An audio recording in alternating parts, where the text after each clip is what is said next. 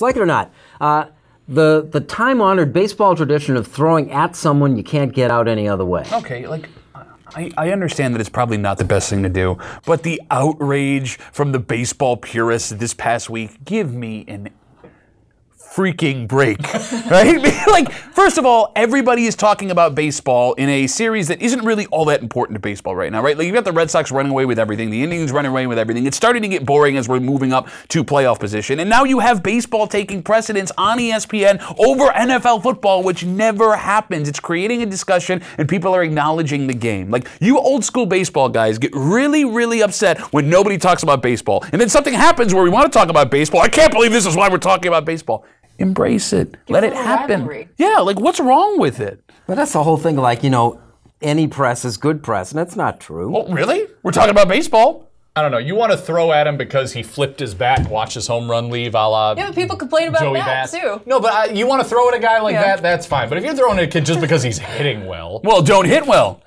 Ooh, Yes. an idea that solved the offensive problem, didn't I? I guess so.